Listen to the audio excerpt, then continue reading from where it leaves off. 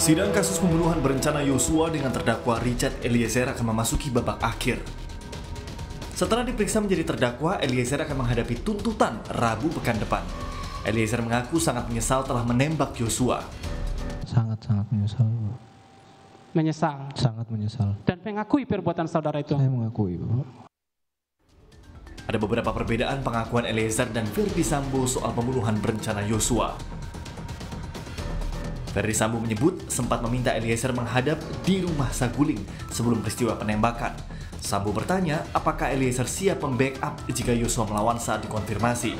Namun Eliezer menegaskan dalam pertemuan itu Sambo tak bertanya soal kesiapan membackup. Sambo hanya memberi perintah untuk menembak Yosua. Saya kemudian menyampaikan juga kepada Richard, kamu siap nggak backup saya?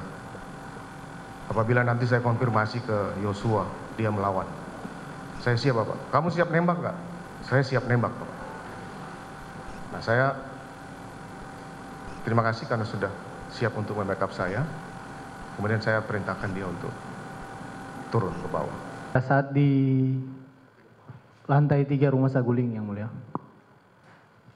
Tidak ada kata-kata dari beliau yang menanyakan kepada saya untuk apakah kamu siap mem- membackup saya ataupun menanyakan kepada saya kamu siap gak nembak kalau Joshua melawan itu tidak tidak benar adanya yang mulia. Yang benar, Yang benar adalah pada saat itu beliau memerintahkan saya untuk menembak Yosua dan setelah itu dia juga menceritakan kepada saya tentang skenario yang akan nanti dijelaskan dan dijalankan di Duren 3 yang mulia.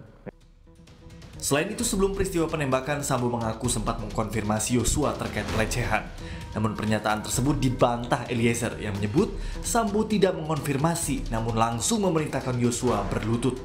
saya sudah emosi waktu itu karena mengingat perlakuan Joshua kepada istri saya. Saya kemudian berhadapan dengan Joshua. Saya sampaikan ke Joshua, kenapa kamu tega sama ibu? Jawaban Joshua tidak seperti yang saya harapkan. Dia malah menanya balik, ada apa komandan? Seperti menantang. Untuk yang di Duren 3 yang mulia. Tidak ada eh, konfirmasi kepada almarhum Yosua pada saat di Duren 3. Karena pada saat almarhum Yosua masuk, beliau langsung menarik almarhum Yosua di leher almarhum dan mendorong ke depan serta menyuruhnya berlutut yang mulia. Soal perintah penembakan juga ada perbedaan. Sambo menegaskan memberi perintah hajar cat. Namun Eliezer mengaku Sambo memberi perintah, woi kau tembak, kau tembak cepat, cepat kau tembak. Saya perintahkan Richard untuk hajar Cat. Bagaimana cara saudara memerintahkan Richard? Hajar Cat. Kamu hajar Cat. Kemudian ditembaklah Joshua sambil maju sampai roboh yang mulia. Bantah saya membantah juga tentang kata-kata beliau tentang menghajar bahwa tidak ada benar, tidak benarnya itu karena yang sebenarnya kan beliau mem- mengatakan kepada saya dengan keras dengan teriak juga yang mulia dia mengatakan kepada saya untuk woi kau tembak kau tembak cepat cepat kau tembak Dalam persidangan, Sambo menyatakan hanya Eliezer yang menembak Yosua hingga tewas. Namun Eliezer menegaskan melihat Sambo ikut menembak Yosua.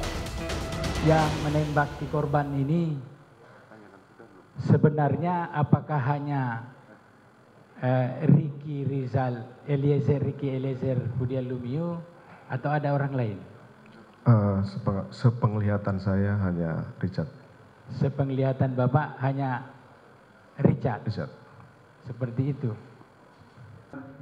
Saya melihat beliau menembak ke arah Joshua yang mulia.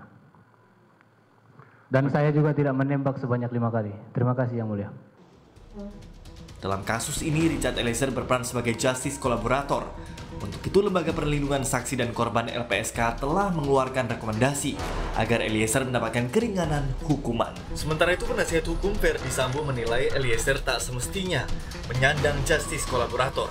Kasus ini menurut penasihat hukum Sambo terungkap bukan karena Eliezer, melainkan oleh Verdi Sambo. Tim Liputan Kompas TV. Saudara Ferdi Sambo, saudara